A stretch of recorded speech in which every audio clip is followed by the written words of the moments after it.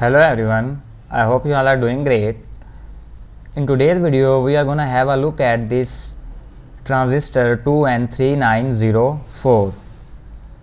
The link of this tutorial is given in the description of this YouTube video and from this link you can download its Proteus simulation and Arduino code. First of all we will have a look at what is 2N3904. 2N3904 is basically an NPN transistor made up of silicon material. And uh, as you can see in this image this 2N3904 has three pins. The first one is emitter the second one base and the third one is collector. And uh, we can use it as a switch and can also produce PWM pulse which is pulse width modulation using this 2N3904 now in order to download the Proteus simulation and Arduino code you need to click on this button here. As I have already downloaded it so that's why it's saying. Okay here's the folder introduction to 2N3904 and in this folder you will find these two simulations. The first one is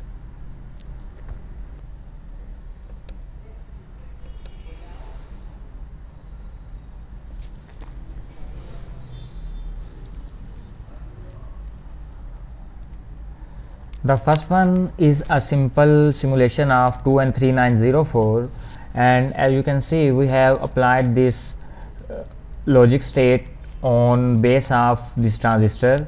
And on one side we have applied this pulse plus 5 volt. And on the other side we have this LED yellow LED and after that we have placed a ground.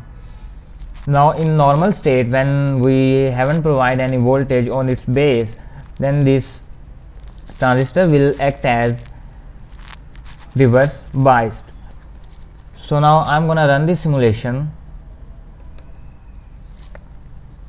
And as you can see as we have already provided 0 here on its base that's why our 2N3904 is in reverse biased condition.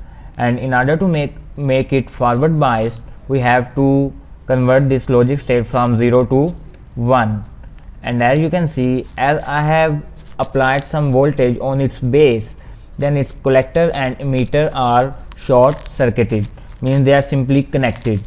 And uh, the plus 5 volt has been passed from one point to other and that's why our LED is on now. Now if I want to turn off this LED I will simply close it. Okay now let's control it through a Arduino board. Here's the second simulation in which I have used Arduino to control this 2N3904 and as you can see here it's quite simple. I have just connected this transistor with the digital pin pin number 7 of Arduino. In the previous simulation I was providing voltage to this base of transistor via logic state and in this simulation I am simply controlling it with Arduino the digital pin pin number 7 of Arduino. Now we need to upload the hex file which we have here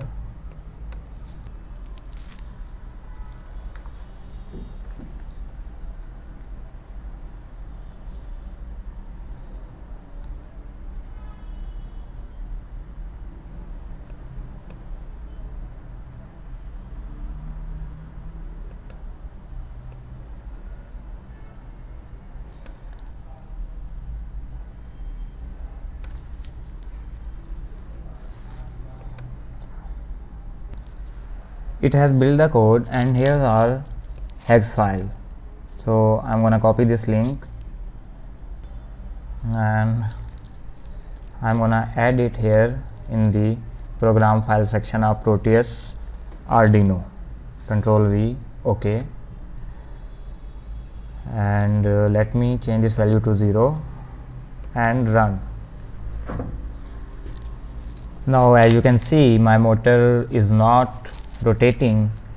And now when I will change this value from 0 to 1 now you can see our motor is now rotating in anti-clockwise direction. So that's how you can control this 2N3904 from Arduino and can control heavy appliances like 12 volt motor or even 220 volt any AC appliance uh, using this 5 volt input pin so that was all for today. I hope you have enjoyed today's tutorial. Thanks for watching. Take care. Bye bye